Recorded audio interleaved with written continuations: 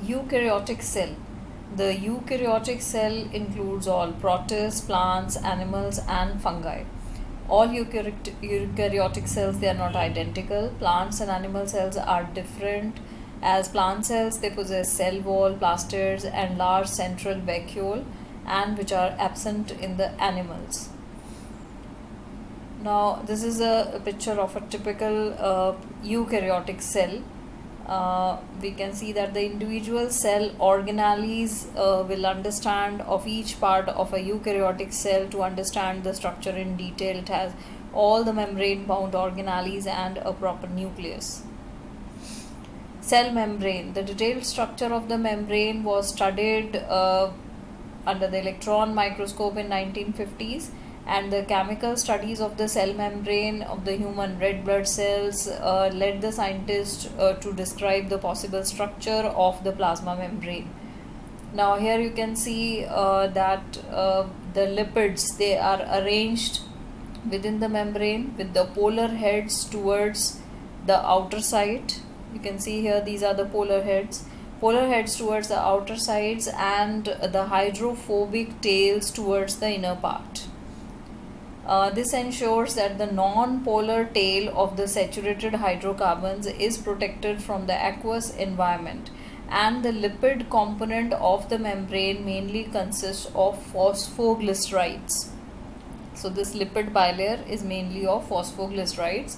Now biochemical investigations reveal that the cell membranes they also prote possess protein and carbohydrates so they also possess proteins and carbohydrates and the ratio of the proteins and lipids varies on different cell types. In human beings, the membrane of the erythrocyte has approximately 52% protein and 42% lipids.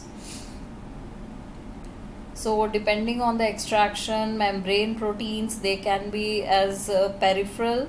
Uh, some of the, uh, they are peripheral proteins which are on the periphery, outer side and uh, integral proteins they are totally buried inside the membrane. These are integral proteins they are totally inside the membrane.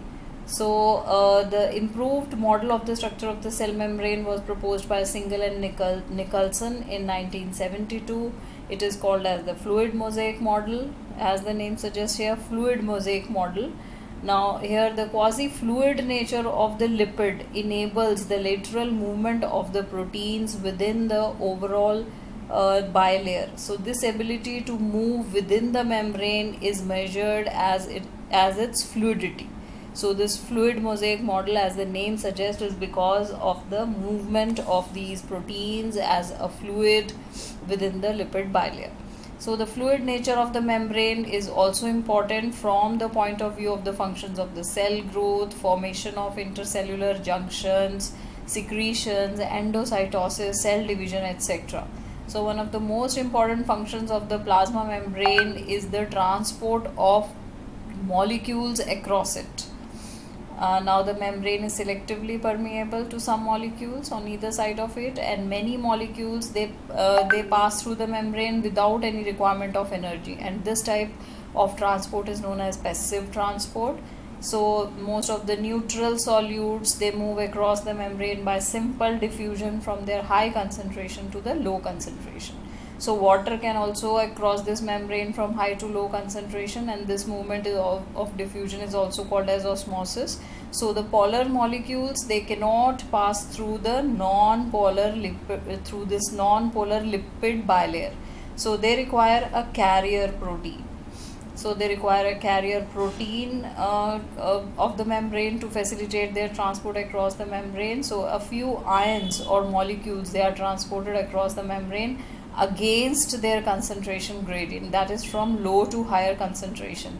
And such processes or such type of transport is called as active transport and it requires energy in the form of ATP and sodium potassium pump also. Cell wall.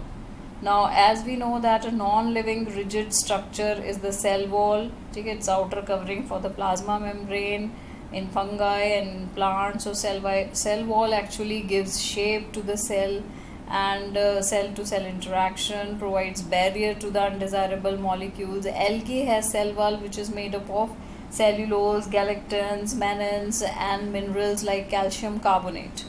Whereas plants consist of cellulose and hemicellulose. Uh, so,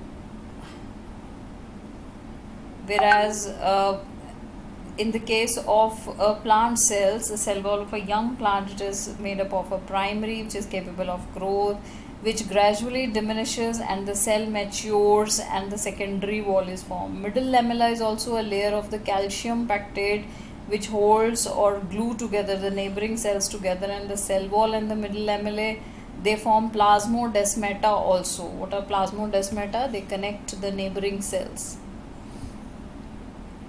Endoplasmic system now in the endoplasmic uh, system, endomembrane system actually it includes endoplasmic reticulum, Golgi apparatus, lysosomes and vacuoles and the functions of the mitochondria and chloroplast and peroxisomes they are not coordinated with these components.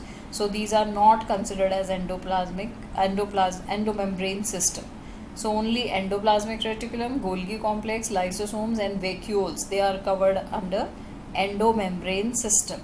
So let's talk about endoplasmic reticulum first. Now electron microscope indicates the presence of a network or reticulum of the tubular structures which is called as endoplasmic reticulum. It divides the intracellular spaces into two distinct compartments. One is lumen, luminal which is inside endoplasmic reticulum and next is extraluminal which is outside endoplasmic reticulum. So endoplasmic reticulum shows ribosomes attached to it on the surface then it becomes rough and those which do not have ribosomes attached to its surface they are smooth.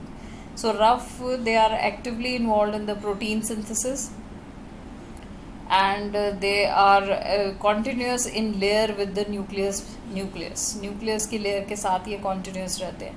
smooth endoplasmic reticulum they are the site for the lipid synthesis and in animal cells the lipids like steroid hormones they are also synthesized by smooth endoplasmic reticulum Golgi apparatus. Camillo Golgi, uh, he observed densely stained reticular structures near the nucleus and these were later named as Golgi bodies.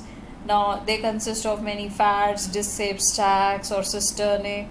Okay, these are the cisternae and uh, uh, these are stacked they are parallel to each other and uh, they uh, varies in number so Golgi cisternae they are arranged near the nucleus and they have a convex uh, cis face and trans face so they're they're this surface this convex surface is called as the cis face and their concave surface is called as the trans face so here we can see these both cis phase and the trans phase phase both are there. These faces uh, they are entirely different but uh, they are interconnected. So Golgi apparatus performs the function of uh, uh secretions outside the cell materials to be packed in the form of vesicles. You can see here vesicles. And uh, uh, then the this endoplasmic they fuse with the endoplasmic reticulum and the cis phase of the Golgi apparatus it moves towards the maturing phase. So Golgi apparatus remains in association with the endoplasmic reticulum. Many proteins they are synthesized by ribosomes on the endoplasmic reticulum and uh, they are modified in the cisternae of the Golgi apparatus before they are released from its trans phase so these are the trans phase these are the cis phase so Golgi apparatus is an important size for, for the glycoproteins and the glycolipids. Lysosomes. Lysosomes are the membrane bound vesicular structures. They are formed by the process of packaging in the Golgi apparatus and the isolated lysosome vesicles. Uh, they are found to be very rich in almost all types of hydrolytic enzymes. What are hydrolytic enzymes? Uh, these are hydrolases, lipases, proteases and carbohydrate carbohydrases. Lipases they break down lipids, proteases they break down proteins and carbohydrases they break down carbohydrates. So they are very active and at, at the acidic pH and these enzymes they are capable of digesting all kinds of carbohydrates, proteins, lipids and nucleic acids. Vacuoles Vacuole is a membrane bound shape in the cytoplasm. It contains water sap, secretory products and other materials which are not useful for the cell. So the vacuole is bound by a single membrane which is called as tonoplast.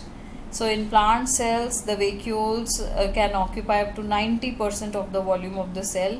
In plants, the tonoplast, it facilitates the transport of a number of ions and other materials against concentration gradient into the vacuole. So this concentration is higher in the vacuole than in the cytoplasm.